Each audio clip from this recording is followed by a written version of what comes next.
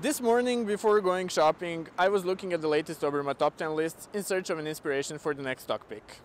Now it's already March and the sales have ended, which means that the prices are abnormally high. Normally, that wouldn't be a problem if the quality would follow those prices. Of course it doesn't. When you look at the labels, it's all artificial materials, usually plastics.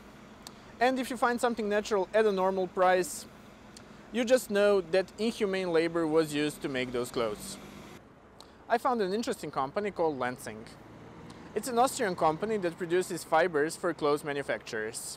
As they state on their website, they do it kind of differently. They produce all of their materials from natural sources. Here's some more information about this company. This is Lenzing's website.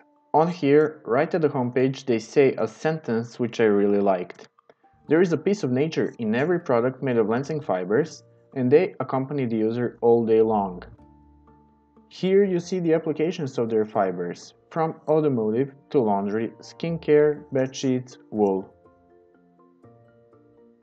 This is Lenzing's Obermatt rating. This stock has a buy rating and all the ranks are in top green.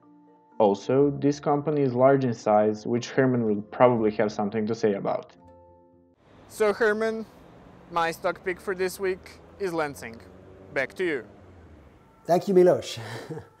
Very interesting. A company in Austria. I've been in Austria a couple of times, and what I realized was that their executive compensation systems are a lot more modest than what we have here in Switzerland. That's already something good because executive compensation system can actually destroy a lot. I looked at Lenzing and what I found was something I like a lot. It's owned halfway by a trust and half by the public. I think this is really good because the trust gives you security that uh, people are taken care of in this company, and the public gives you the security that profits are not out of question. I like this. This is going to stay an independent company that is well managed for a while. I looked further.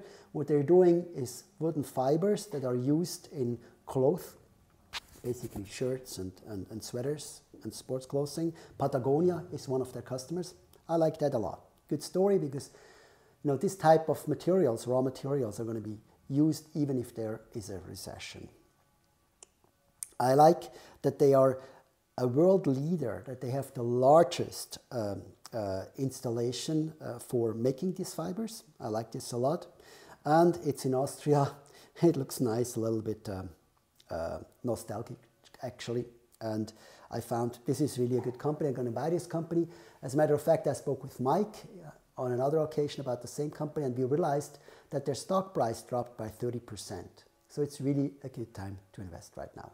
I'm doing that. I'm buying Lenzing. I wish you good luck with your own investing.